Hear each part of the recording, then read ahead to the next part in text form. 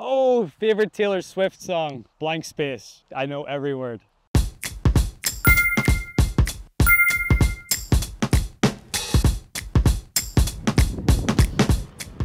Favorite pro to be paired with and why? Rory. He's my teammate.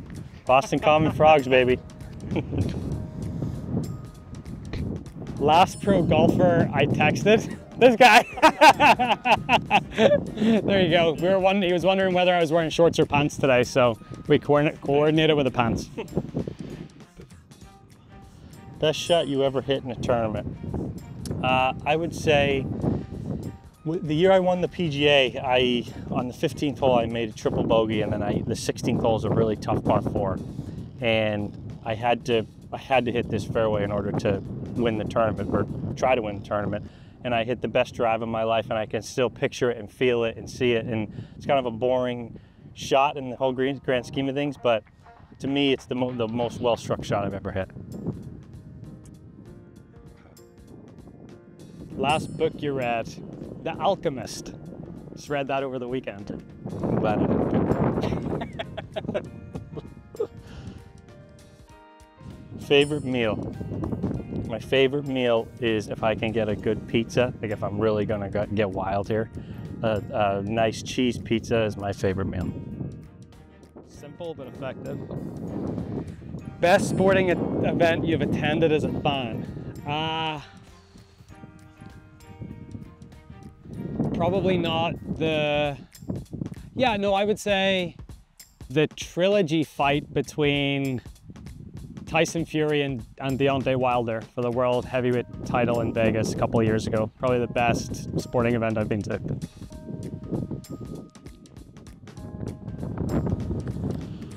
Best on-course snack. Um, I like to eat a ton of beef jerky, uh, and I, you know, I eat a ton of it during the day. So, you know, as much beef jerky as I can get. Favorite course that isn't a tour stop? Oh, uh,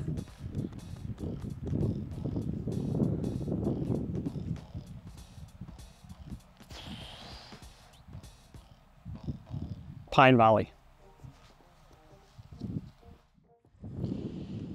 If golf didn't exist, what, what would you be doing?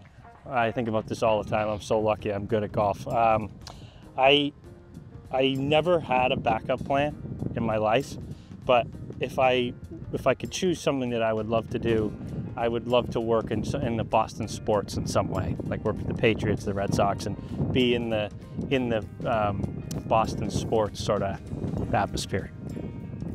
Well, if the golf doesn't work out, you can Yeah. always just run the Boston Commons. That's perfect. A course you haven't played but want to. Um, Cypress Point.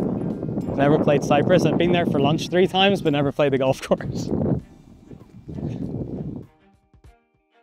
part of your game that needs the most work? Uh, I think we're all trying to be better putters, better short game. So for me, I'm always trying to get better on the greens, around the greens, because I think that's, especially majors, I think that's how you can win tournaments. Agreed. Most common mistake you see amateurs make?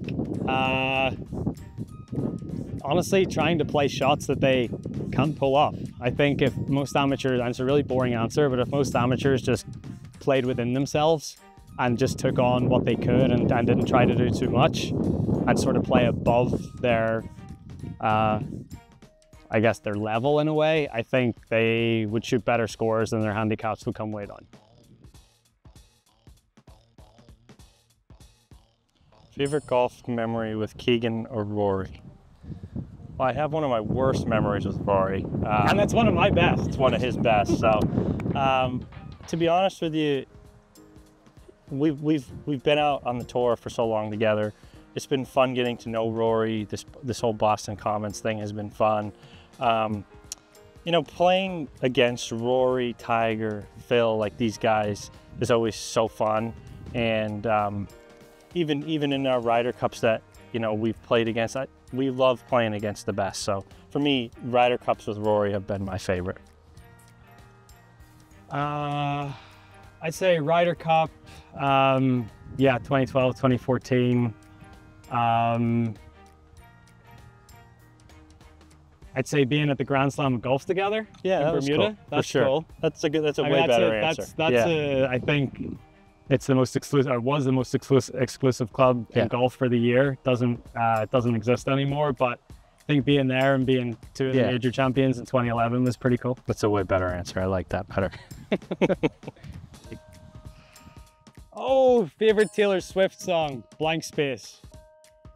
I know every word. Dream foursome. Okay. First, I let me think about this for a second. I hate this question because I too. always come up with like different answers I do too, because my dream foursome I'd love to just play with my buddies. yeah, you know. Well, then, then yeah. I'll, my dream foursome, if I was to go play golf, would be with my best friends. But I would love to go just threesome. I'd like to go myself, Tom Brady, and Bill Belichick. And I'd want to have a session, a therapy session, and figure everything out, work everything out, have them both come back for one more year and win one more Super Bowl. That's funny. What's your middle name? You know what my middle name is? Daniel. Wow. Yeah. Okay. Daniel. Yeah. Didn't. nice. yeah. Song you've been listening to on repeat. I am so obsessed with Noah Kahan right now. He's from Vermont. He grew up like 10 minutes from where I grew up. Uh, I watched him uh, at the Grammys, and I was I was filled with so much pride. I, I we we have a, we've connected, and we have so many weird connections in the Vermont world, and I'm just so proud when I see another guy from Vermont do what he's done. So Noah Kahan. Dunkin' order. Uh, just a regular coffee, black coffee. Yeah. No, nothing fancy. No, no, like whipped cream. No, and you don't not- seem like no, a whipped cream guy. no, I'm not. Lowest round in where I shot 60 at the Byron Nelson uh, in like 2012, 2013. Um, birdied the last three, so I never really had a chance at 59, but that was um, that's my lowest. Weirdest fan interaction. Um, actually, it was sort of your old stomping grounds, Bethpage Black. Yeah, there's a, there'll be a lot of that. 2009 US Open, I had like the big, like bushy afro hair. And there's this guy heckling me at the back of the 10th tee. He's like, get a haircut, get a haircut. And I look around and this guy's hair is down to his shoulders. like, dude, what are you saying? So, but yeah, Bethpage Black, get a haircut.